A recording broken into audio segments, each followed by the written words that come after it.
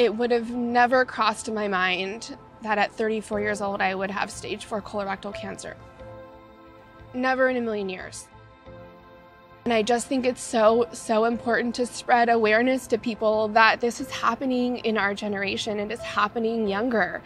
You know, the colonoscopy um, requirement just got moved to age 45, but that wouldn't help somebody like me, you know, who was 34. So I just think we need to spread awareness that it is happening to a ton of people in their 30s. Started the process and uh, did the PSA numbers and the PSA level from my baseline when I was younger uh, to where it was when I had originally tested early May and then in later May, uh, it jumped up two points. So I knew something was up.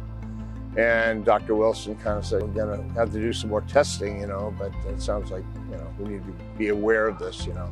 I actually had the opportunity to have it looked at two years prior, but um, I decided not to because I was 32 and I thought 32 year olds don't get mammograms, I'll be fine. Fast forward to two years later, I noticed that the area had changed. And so I brought it to my OBGYN's attention when I had my regular checkup. And she recognized, yeah, I feel what you're feeling. It does feel different. Let's get it checked out just in case. It was because he had a physical. And at the end of the physical, she said there's a new program starting up, and it's for um, early screening for those who Smoke. may, yeah, smokers. And Gary's been a smoker since he was a teenager, so she said, it's perfect for you. So we thought, okay, why not? We went over and they took his first CT scan. I was surprised because I didn't at that time ever think I could get lung cancer. So certainly people that don't smoke can get lung cancer. We have a history of lung cancer on both sides of my family with my mom and dad. Being mindful of my uh, family history, my dad, brother, suffering from prostate cancer. And um, so I knew I had to kind of move on this a little bit. You know, like I said, I just retired. I got more time. I know what to do with. So I was able to start the testing procedure and uh, be diagnosed uh, with stage two cancer after a couple tests and a, and a uh, biopsy. Well, sure enough, not even 24 hours later, I got a phone call, and it was the um, the doctor's office letting me know that I did actually have cancer. So when you hear that word cancer, it just it changes things. And I sat there for a good 20, 30 minutes, just kind of by myself in the dining room, thinking, okay, let's not think the worst. Let's not Google this stuff. Let's just uh, let's let's move forward and figure out what's going on here. Because the antibiotics weren't working, I was feeling worse.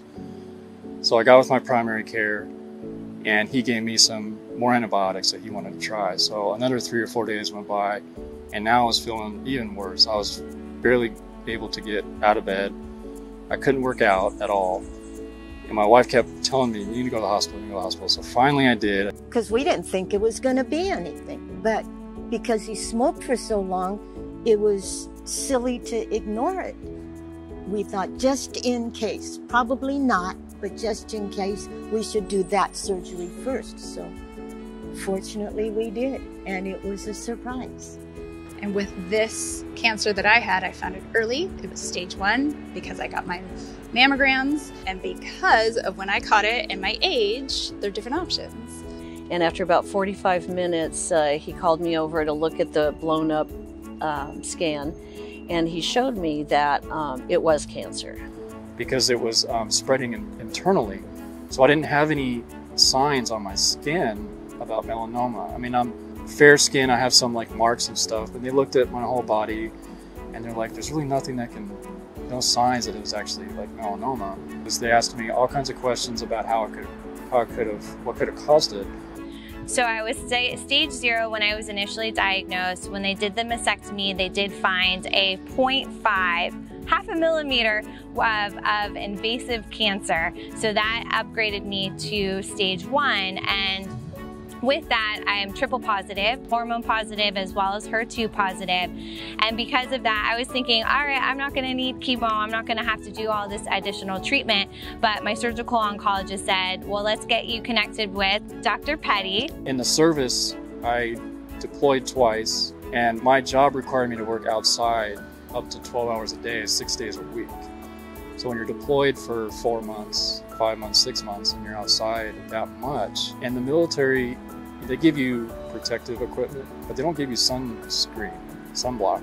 So you have to try to remember to buy that stuff on your own. Well, when you're out there, you don't think about that stuff.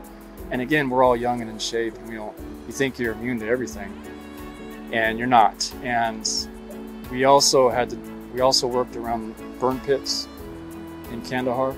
So I think between with with all that going on, they think that's what most likely caused it. The really amazing thing to me was that when he removed it, even though I was a stage one, it was had gone through the lining of my lungs, and it had I had a little touch of adenoma tumor in there too. It was mostly BAC, and then it had some aggressive adenoma, and it had eaten through the pleural and was right a butt to go out into my chest cavity, and it was a butt to that little membrane that separates your lungs from your chest cavity. And so within who knows a day, two weeks, I could have been stage four and done. So that is the miracle here, really, is that he called it.